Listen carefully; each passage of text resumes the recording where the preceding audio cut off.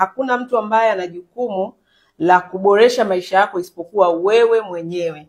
Wanawake wengi wanaopata tabu, wengi ambao wanateseka ni wale ambao wanafikiri kwamba jukumu la ma maendeleo yao, jukumu la maisha yao, uh, kuna watu wengine ambao wanapaswa uh, kulifanya, yaani sio jukumu lao.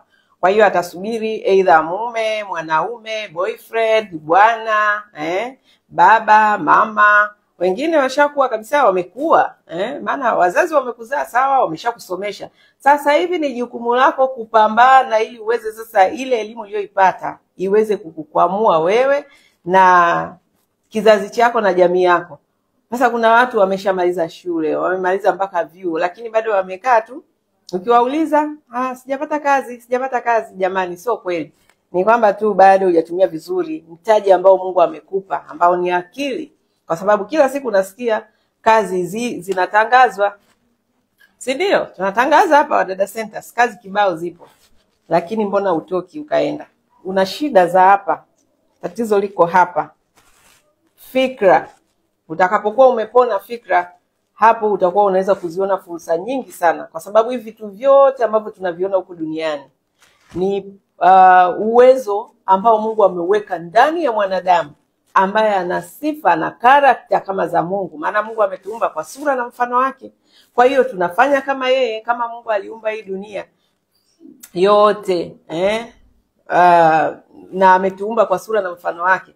Maana yake ukiangalia uki, ukiangalia vizuri mambo mengi mazuri ambayo yako duniani aliyefanya ni mwanadamu. Kwa hiyo na wewe kuna kitu ambacho Mungu amekiweka ndani yako, unaweza kuboresha hali yako ya sasa, unaweza ukapiga hatua, unaweza ukatoka hapo ulipo na ukafanya wonders. Na actually Mungu naye anashangaa kwamba imekuwaje, uh, talanta aliyokupa umeifukia, umekaa unalalamika, hakuna kazi, hakuna sijui eh, ajira wenyewe. Kwa hiyo jamani, mimi kazi yangu ndio hiyo. Yaani kila siku utakaponiona, utakaponisikia, mwanamke, unao uwezo mkubwa ambao Mungu ameweka ndani yako.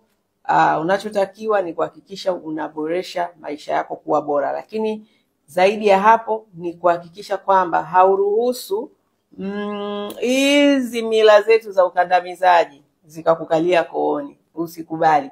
Kila mtu amepewa free will yake, kila mtu ana utashi wake wewe tumia wakwako. Kila mtu Mungu amempa utashi wake. Hakuna mtu ambaye ameambiwa yeye awe anaamulia wenzio. No, choose your life, fanya maisha yako unayoyapenda. Yeah, cha muhimu tu ni kwamba uki, ukiwa una una sasa, sijui unatoa wapi mwongozo wa maisha yako like Uh, Yesu alisema kwamba kipofu anapomwongoza kipofu mwenzake wanatumbukia wote shimoni.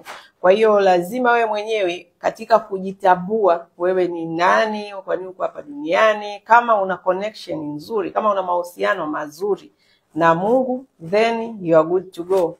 Unaweza kwenye, kwa kutumia willpower yako utafanya wonders, utafanya mambo makubwa, kwa sababu una mahusiano na Mungu. Chochote utakachokuwa unakifanya kina alaini na maagizo na sheria na taratibu ambazo Mungu ametuwekea na ziko kwenye neno lake. Kwa hiyo you don't need, hauhitaji kabisa kabisa, yani mtu wa ku control na kukwambia ufanye hiki usifanye hiki. Hapana, unatakiwa uamini maamuzi yako, kwa sababu jinsi unavyojisikia ndani ya moyo wako, ujue kwa kuwa umeumbwa kwa sura na mfano wa Mungu, maana yake Mungu ndio ameyaweka hayo ndani yako. Kama unafuatilia kama nilivyosema miongozo na taratibu za Mungu. Ukiwa ufati hizo, manake utakuwa na matamanio na vitu viko ndani yako ambavyo vinatoka katika ulimwengu mwingine ambao ni wa giza. Lakini kama uko katika upande wa ulimwengu wa nuru, which is neno, always mambo ambayo unajisikia kuyafanya ambayo yako ndani ya, ya, ya, ya moyo wako ambayo bado hayajatoka katika ulimwengu huu wa macho ya nyama na you know, eh, ya kuona then hayo ambayo yako ndani una uwezo wa kuyageuza yakaja yakaonekana kama tunavyoona mavitu mengi ambayo yako duniani. So na wewe make sure uh, una, una unafuatilia na mawazo yako, unafuatilia kitu ambacho Mungu ameweka ndani yako uh, na endelea kumwomba Mungu, endelea kumtegemea Mungu, lakini hakikisha na wewe you are doing something. Wengi huwa tunabakia kuomba tu Ukishaomba umemaliza, unasubiri Mungu sio atashusha kutokea wapi. No, lazima utoke ukapambane, na katika kutoka kupambana, please please, usifikiri kwamba kila kitu kitapatikana ukifumba na kufumbua. No, kuna mchakato, kuna kuanzia chini, kuna kwenda hatua ndogo ndogo, kama mtoto anavyozaliwa. Jamani, ilikuwa ni mbegu ikaingia uh,